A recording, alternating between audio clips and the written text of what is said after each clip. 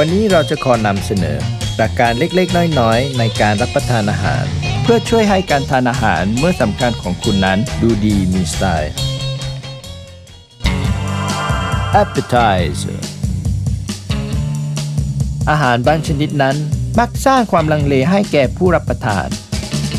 ว่าควรใช้อุปกรณ์ในการทาน หรือว่าไม่ควร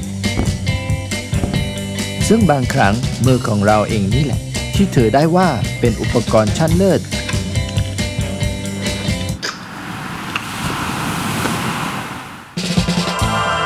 สูปมีความเข้าใจผิดๆเกิดขึ้นมากมายเกี่ยวกับการใช้งานของช้อน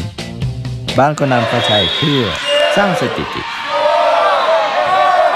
บ้างก็นำไปใช้เพื่อพิสูจน์สิ่งเหนือธรรมชาติ บ้างก็นำไปใช้เพื่อวังผลในการออกเดท การใช้ช้อนให้ถูกวิธีนั้นจริงๆ แล้วเป็นเรื่องที่ง่ายมาก จับช้อนขึ้นมาโดยมือข้างขวานำช้อนตักลงไปบนถ้วยซุปในทิศทางออกจากตัว บรรจงนำช้อนเข้าปากก่อนที่จะหันมาสบตากับผู้ดินเนอร์ซาลัด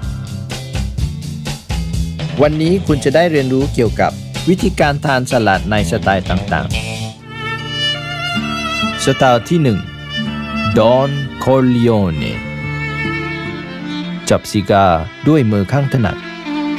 ละเลียดไปกับควันซิการ์ด้วยความผ่อนคลาย บรรจงหั่นสลัดอย่างสุขุม ก่อนที่จะนำเข้าปากเคี้ยวอย่างละเมียดละไมพลางคิดถึงแผนการในครั้งต่อไป ตบท้ายด้วยวิสกี้ชั้นดี เป็นการล้างปากไปในตัวสไตล์ที่2จูเลียสซีเซอร์จัดอิริยาบถให้อยู่ในท่าที่ผ่อนคลาย เปล่งคำว่าสลัดออกไปให้เต็มเสียงเพียงแค่รอ อ้าปากว่าให้พร้อม ก่อนที่จะซึมซาบไปกับรสชาติชั้นเลิศ ออนเทรโดยปกติ อาหารจานหลักที่เป็นเนื้อสัตว์นั้น จะใช้มีดและซ่อมในการหั่นเพื่อรับประทาน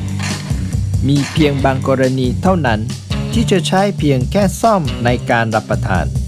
ก็ต่อเมื่ออาหารจานนั้นเป็นเนื้อปลาการพูดในขณะที่เคี้ยวอาหารอยู่ในปากนั้น เธอเป็นเรื่องที่ไม่สุภาพ แต่ถ้าคุณมีอะไรที่ต้องการจะสื่อสาร จนสื่อสารมันออกมาผ่านมีดและซ่อม บทเรียนขั้นพื้นฐาน ยุด เสร็จสิ้น ยอดเยี่ยม บทเรียนขั้นสูง ฉันลงลายเป็นแมทโทรฉันเพิ่งถูกเจ้านายต่อว่า ฉันจะออกไปโต้ขึ้น หลายคนอาจจะสับสนระหว่างคำว่า dessert กับ desert เนี่ยเขาเรียกว่า dessert ส่วนเนี่ย desert เช่นเดียวกับของหวานที่มักทำให้คุณสับสน ว่าควรใช้ช้อน หรือว่าควรใช้ซ่อม ช้อน ซ่อม ช้อน ซ่อม ช้อน ซ่อม ช้อนนั้นใช้สำหรับของที่มีลักษณะอ่อนนุ่ม ส่วนซ่อมนั้นใช้สำหรับของที่มีลักษณะแข็ง แข็งแข็งแข็ง